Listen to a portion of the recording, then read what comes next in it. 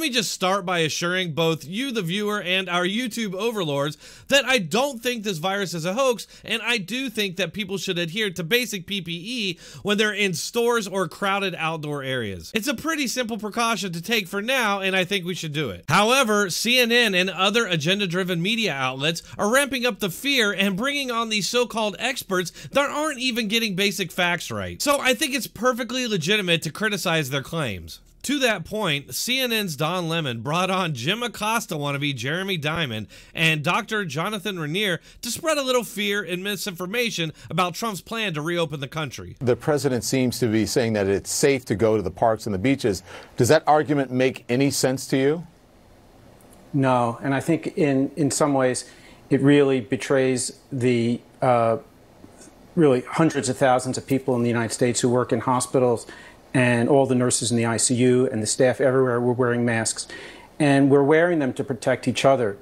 And when I walked out onto the street, the streets of DC were really filled with people yesterday. I really felt betrayed. I don't know. It seemed like he was playing it up a bit there and putting on a performance. I mean, really, you feel betrayed because people were outside after months of isolation? We were told to flatten the curve. Meanwhile, I keep seeing this news about furloughed medical workers and hospitals that are shutting down. Look, I'm obviously not a doctor or a scientist, but I understand that people have to work to survive and businesses need customers or else they cease to exist. And we're not even talking about that right now. We're just talking about people being outside. Going out to take a walk is a dangerous betrayal of medical workers. If I wear PPE or stand six feet apart, everything should be okay, right? Sorry for interrupting. We'll get right back into the video. But first, just give me a quick minute to tell you about this free special offer for my subscribers. It's tough right now to get your hands on gold. Dealers just can't get enough, but we know it's time to protect your wealth time to protect your family. Did you know that you can buy, sell, and spend physical gold with Swipe with Gold? It's super easy with our mobile app to buy real gold for better financial security. Just visit www.swipewithgold.com and download the app. Register, and your prepaid debit MasterCard will be delivered by mail in just a few days for free. When you get your card, you just load on your cash. Then you're ready to buy, sell, and spend in real gold. It's that simple. You can withdraw your money anytime at any ATM that accepts MasterCard. So visit www.swipewithgold.com. That's www.swipewithgold.com and download the app right now to get your free card and start using real gold as money. Even if people do get it, how many of them are actually going to need hospitalization?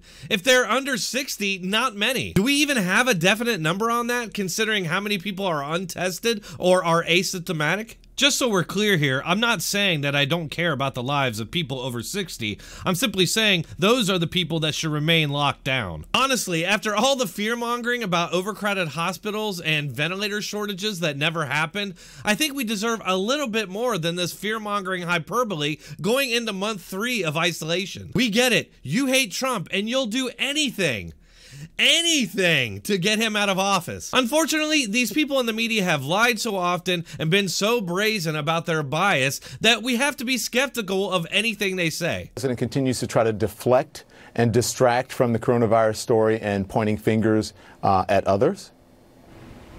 Uh, he certainly is done, and this is something that we've seen, of course, the president do repeatedly. He has refused to accept any responsibility uh, for any of the number of failings of the administration's response to the coronavirus crisis from uh, January and into February. And this is exactly what I mean about not being able to trust anything they say. We already know that he stopped travel from Chinese foreign nationals in January, but there were many other actions taken that the media predictably ignored. It's a 24 point list, which I'll link in the description but just to name a few things, February 2nd, CDC expanded enhanced entry screening to eight major airports. February 4th, FDA issued an emergency use authorization for the CDC diagnostic. February 5th, Trump admin officials briefed lawmakers on the federal government's coronavirus response efforts. And it goes on and on and on all through February. Something I've been asking people on Twitter who then inevitably block me is why Obama was never blamed for H1N1 or flu deaths during his administration,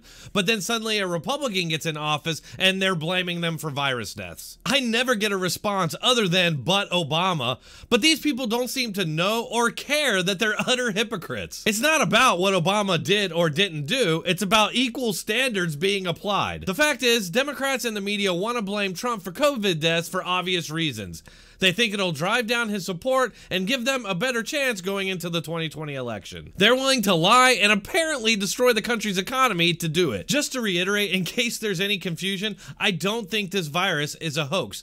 I think the Democrats and the media are taking full advantage of this crisis to push through their agenda.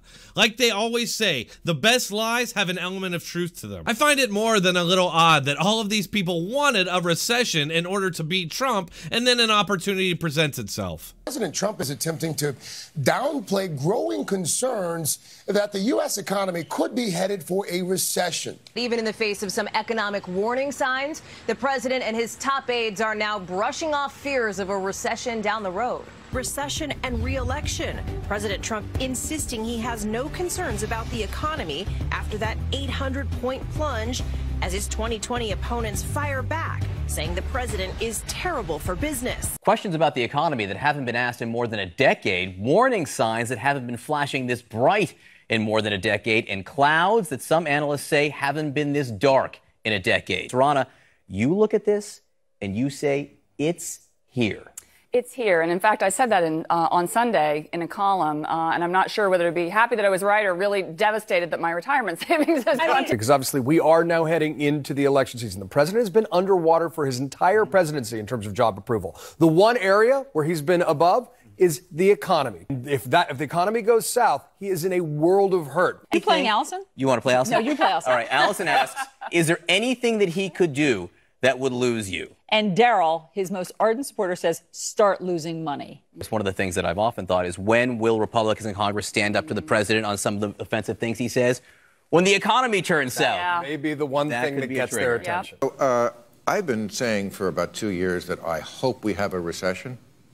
and so, yes, a recession would be very worth getting rid of Donald Trump and these kind of policies. You know, Bill, and it would get rid of him. Next thing you know, they're all screeching about not letting a good crisis go to waste. That's all for this episode. Please hit that like button, share, and subscribe. It's one of the best ways you can support this channel. If you'd like to further support this channel, you can do so on one of these platforms. You can find all the links in the description or pinned comment. Thanks for watching. Keep coming back.